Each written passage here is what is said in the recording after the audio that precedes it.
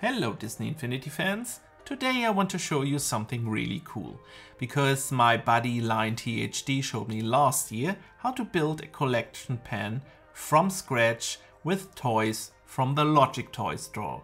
Thanks for that Lion THD. Well, and today I want to show you how you can build this in your own Toybox world. Have fun watching guys!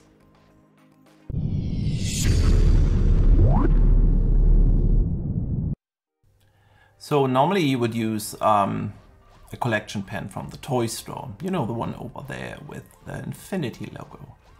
Well, I'll put down a little demonstration here for you to see how it normally looks like.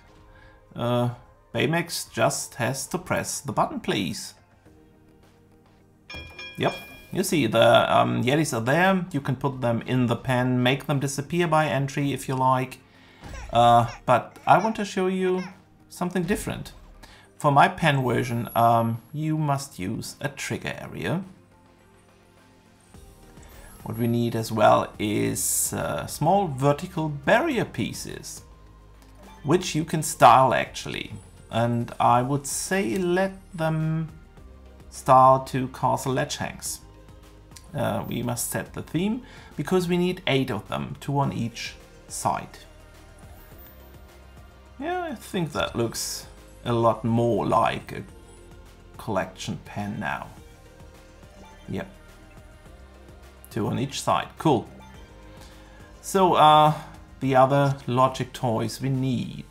Uh, yep. It's a friendly wave generator we need. We do need a radar marker. We need a counter, a sound generator, and of course the blue team activator for it to work, as well as four locators, from uh, which we make locator connections to the friendly wave generator. Cool.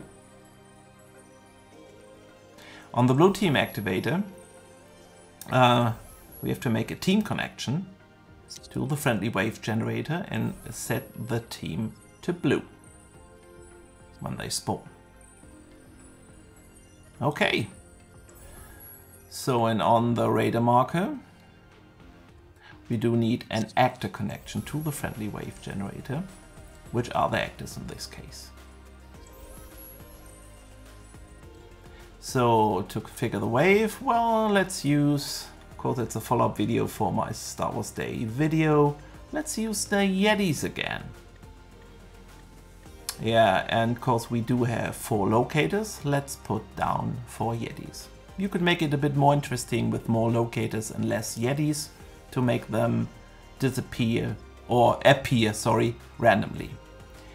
And the properties uh, countdown enabled off, uh, generation delay, let's set them to zero, disable generation effects because that saves a lot of memory.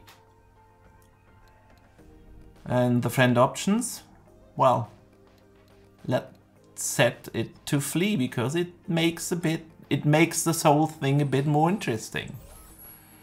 So on the counter, uh, we go to the properties and set the start reset count to four because we start with four uh, Yetis and want to count backwards.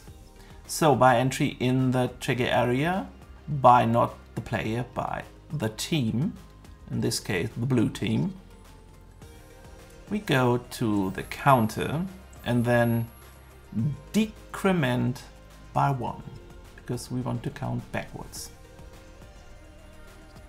On the other hand, new logic connection when exited, blue team, uh, someone could steal your Yetis by the way. Could be interesting to play with that. And in this case, we say increment by one. Cool. So on the trigger area again, uh, we do a new logic connection when entered by Team Blue. We go to the sound generator and I think it is under, no, vocal I think, yeah. And uh, I'm looking for the baby cry because it's little Yetis we have here. The baby crying, cool. Well, not cool that baby is crying, but it's cool in this case.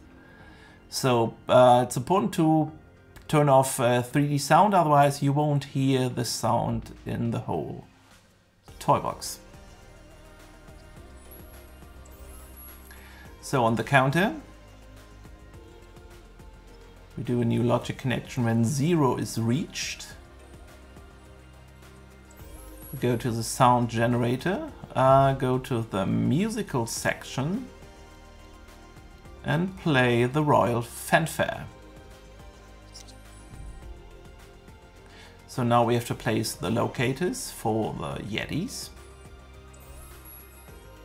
And on the radar marker, uh, beacon type, well, let's set it to blue arrow. But it's totally up your choice. Uh, very important, beacon location must be the connected actor. Yep, just like that. Cool.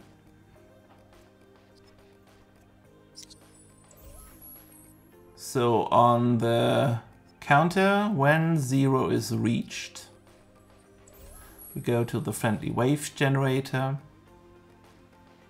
and defeat the wave. So on uh, the friendly wave generator, when wave is generated, we activate the radar marker.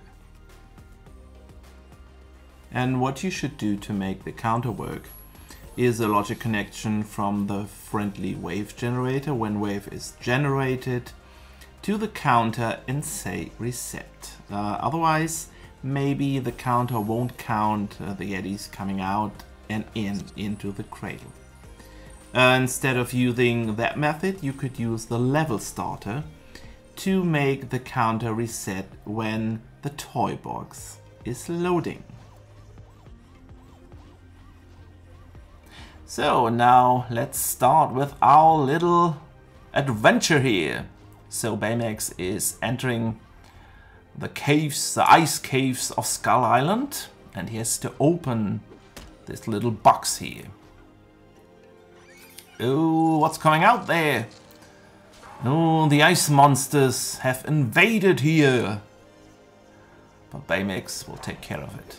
Well, I said it here um, that when you open the box, um, the trigger area I placed in front of Skull Island is activated and when you walk through it uh, uh, spawns the enemies and the Yetis. See here.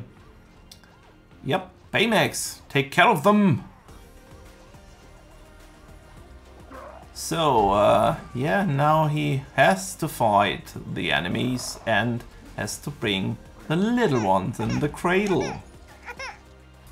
Yeah, and when you take the Yetis out, the counter increments. And when you take them back in, it decrements again. Uh oh, but he, I think he's a big fighter, he can take it then. Oh oh. Yeah, I like to use the older figures because they do have so much potential. Not so much movement, but so much potential. Oh oh. Yep. Ooh, he has cool movements. Didn't know that. So where's the second one? Ah, there he is. See, and that's what I meant with Flee. You have to look for them. Oh, and not only did I use this pen in this toy box, but uh, in my uh, Halloween toy box last year, you know, The Curse of Mealy Island, where Davy Jones was turned into a ghost as well. You could use this pen for versus games uh, where you steal each other's things, like Yetis maybe? Yeah. And uh, like you can read on my banner on my channel, the limit is your own imagination, really. Oh, and check out uh, THD's channel. He has some cool Mandalorian videos there. Yeah, this is the end, and I hope you liked it. Hope to see you soon. Bye-bye.